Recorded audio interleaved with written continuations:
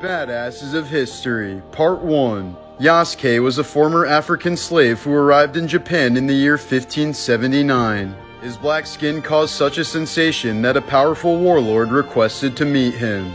They developed a friendship, and Yasuke eventually became the first and only black samurai.